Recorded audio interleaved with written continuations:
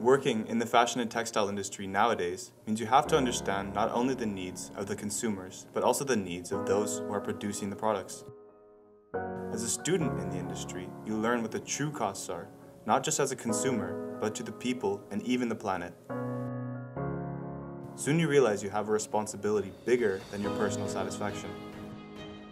The responsibility that lies in your hands is the decisions we make, and not just in the short term, but also in the long term. You must ask yourself every time you make, buy, and throw away a product, what is the actual cost of this?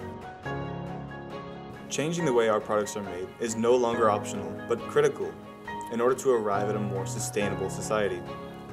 A society which can happily pass along this earth to generations to come.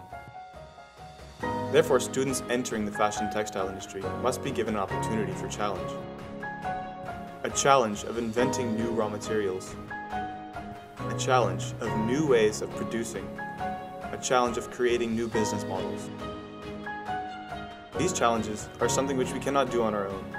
Governments, companies, NGOs and universities need to cooperate to realize the necessary change.